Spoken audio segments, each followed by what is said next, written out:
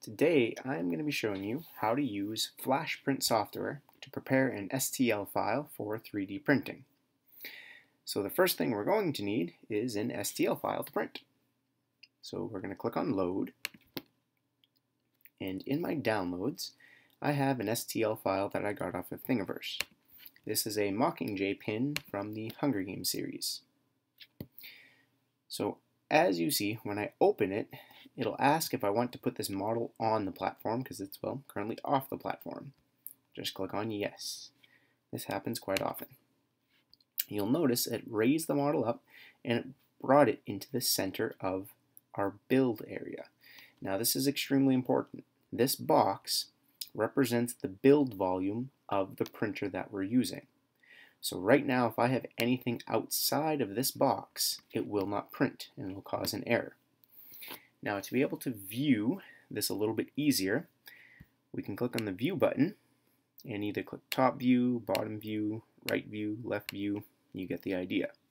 Now out of all of these, the most important one is the bottom view. You'll notice when I click on the bottom view, the model is showing up blue. Now that is extremely important. The blue represents where the model is adhering to the build plate. So the FlashForge finders have a blue removable build plate. The model needs to be printed directly onto the build plate. If there's any space between them, it'll just squirt molten plastic into the air and nothing's going to happen. You're going to get a big glob of plastic instead of your 3D model. Adhering is extremely important. So it has to be blue along the whole surface that it's printing to. To view that, again, you click on View, Bottom View. If you're trying to rotate around, you can also hold Control or use the right mouse button to go into a free view. Now, I'll show you what would happen if it wasn't lined up properly. If I click on Move, and I click my model, if I had raised this a little bit, see how the model slowly moved off the build plate a little bit? And now I kind of rotate around it, you'll notice that I can see underneath it. Well, imagine you're a printer and you're trying to print in the midair. How well is that going to work? Well, that plastic is simply going to drip down and isn't going to print properly. So you have to make sure that any model you print is on the platform. So a good way to make sure of that is to first of all check to see that the bottom is blue, or if you're having trouble, just go to move and click on platform. By default, it will be centered, However, if the model is not centered, you can simply click on Center. You get your best results printing directly in the center of the build plate. If you want to change the rotation of it, you can click on the rotation button and use one of these three rings to turn your model. You have to be very careful with this, however. For instance, if I rotated it along the x-axis, notice it turns red. That is because the model is now clipping through the bottom of my build plate. Obviously, this would not print properly because it's trying to print something underneath the build plate, and it can't do that. We'll just undo that. There we go. Now we're back to where it should be. Probably the most useful tool over here, besides the ability to view and move, is the scale tool. Now scaling allows us to simply click and drag to make the model either smaller or larger. Just be careful. You'll see the wall turn red.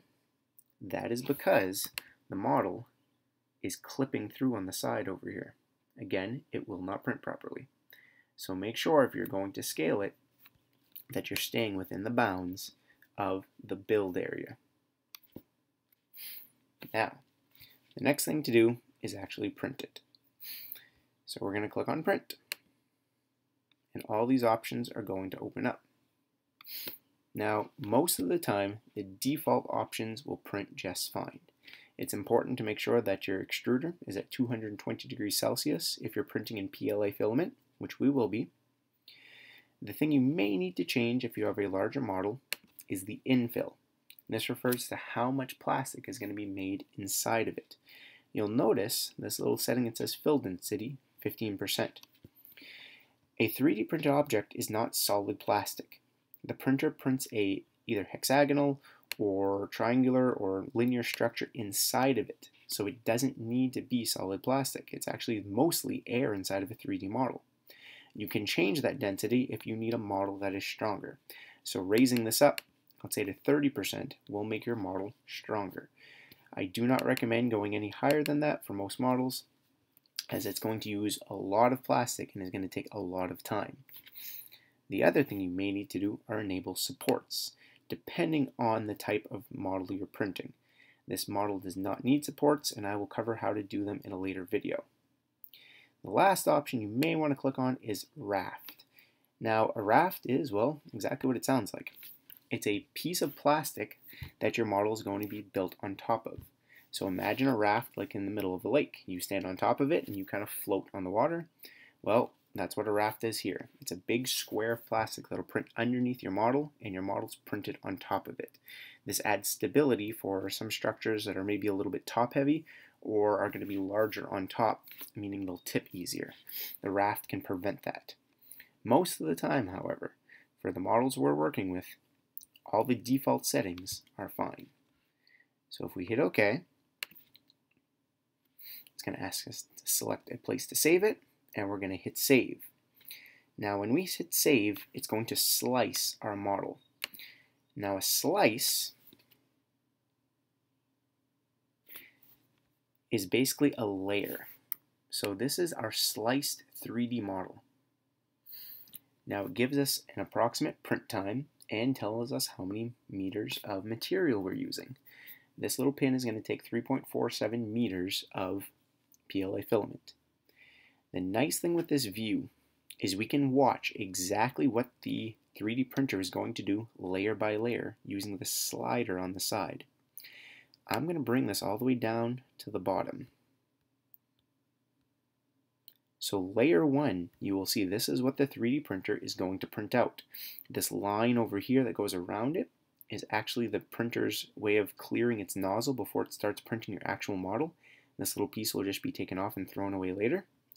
But you can see it does the entire outline of our Mockingjay pin.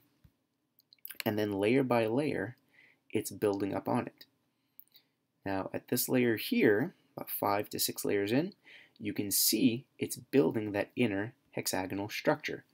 So again, most of the inside of this will actually be air. However, this structure, this honeycomb structure, is very strong. And it's going to keep printing up almost the entire height of it until we get towards the top. And here we have all the details and the feathers until we get to the very top. And there's a print. So it's a nice way to preview your print to see if there's any errors.